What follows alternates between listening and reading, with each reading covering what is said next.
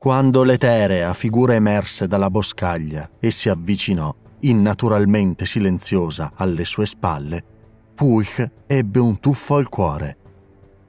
Lasciò i cani della sua muta cibarsi dell'interiore del cervo che aveva di fronte. Si girò e fissò terribilmente meravigliato l'uomo comparso improvvisamente, quasi dal nulla vestito come un cacciatore, armato come tale, che montava un cavallo come tanti altri ne aveva visti. Eppure nello sguardo severo di quell'uomo, no, di quell'essere, c'era una potenza antica, un'aura di potere che il giovane principe del Tevet non poté non notare. L'uomo, ammantato di luce pallida, quasi invisibile, scese dalla sua cavalcatura e lo fissò severo, mentre una muta di cani lo raggiungeva uggiolando. Avevano il pelo candido come la neve che splende al sole, eppure le orecchie erano rosse come il cielo al tramonto. Erano i cani che il principe aveva allontanato poco prima dalla carcassa, in quel momento preda della sua muta di segugi. La scena parve agli occhi di Pulch a dir poco surreale come se fosse entrato nel regno del sogno mentre dava la caccia ad un comunissimo cervo. E avrebbe benissimo potuto immaginare di essersi addormentato a cavallo, se non fosse che i suoi comunissimi segugi stavano latrando rumorosamente mentre consumavano le interiora della bestia. Esigo delle spiegazioni, disse il cacciatore ammantato del pallore della luna, mentre uno dei suoi segugi prendeva a strusciarsi sulla sua gamba spaventato. Mio signore, io sono... esordì Puig, ma l'uomo alzò un lungo dito, pallido e ossuto. Principe, io so chi sei e certamente non ti saluterò. Esigo delle spiegazioni. Puig sentì infine montare l'orgoglio. Potete benissimo non salutarmi se il vostro rango ve lo permette ma io sono il principe del Devet e... E hai appena allontanato i miei cani dalla preda che io ho abbattuto, privandoli della mia curé per darla senza permesso ai tuoi, senza offesa bastardini.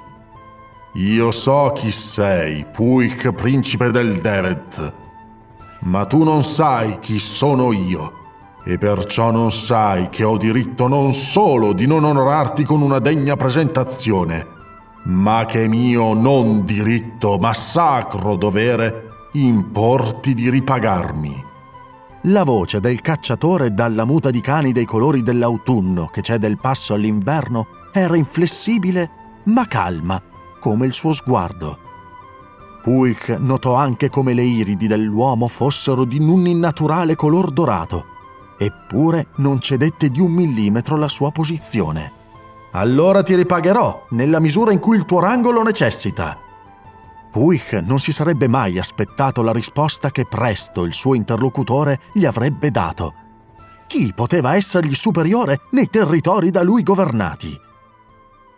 Ebbene, sappi che io sono re nella terra da cui provengo. Io sono re Araun, signore di Enun, e in quanto tale ti chiederò un risarcimento equo. Il giovane principe infine perse buona parte del suo contegno, impallidendo e notando finalmente quanto effimero e distante, seppur a pochi centimetri di lui, fosse l'uomo. No, lo spirito che gli stava innanzi. Nei freddi bisbigli invernali si mormorava il nome di Araun, signore del mondo oltre il mondo dei vivi, il cui nome spesso era Bianco, come bianco è l'inverno che annunciava con la sua muta di cani pallidi come il latte, ma dalle orecchie fulve come le fiamme. Pulch chinò infine il capo, mettendo a tacere i suoi segugi con un gesto nervoso della mano. Io, signore, io, se torto vi ho fatto, come so di avervi fatto, riscatterò la vostra amicizia. È un onore per me essere al vostro cospetto sono contrito di ciò che inconsciamente ho fatto. Come potrò mai riscattare la vostra amicizia e il vostro perdono? Puig non osò più alzare lo sguardo, ma se l'avesse fatto, avrebbe visto Araun, lontano signore delle terre dove i morti camminano come fossero vivi, sorridere. Non dell'umiliazione del mortale di fronte a lui, ma di come lo stesso s'era umiliato senza umiliarsi.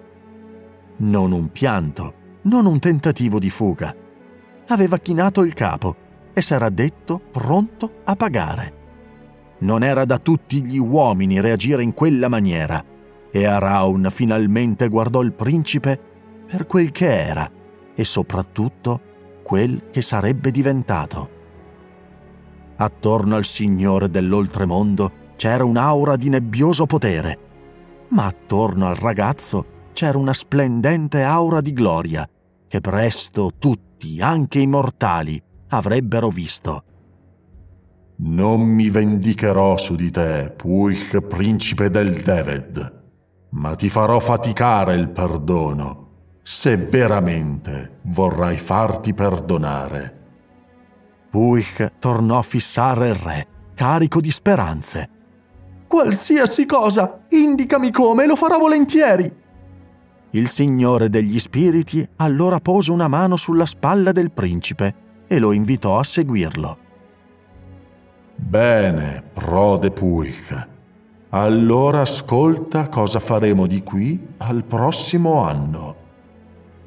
Fu così che i due sovrani decisero come avrebbero cementato quella che sarebbe stata un'amicizia passata alla leggenda, mentre le mute dei loro cani, dapprima diffidenti tra loro, presero a mescolarsi, così come avrebbero fatto in occasione delle innumerevoli volte in cui si sarebbero incontrate.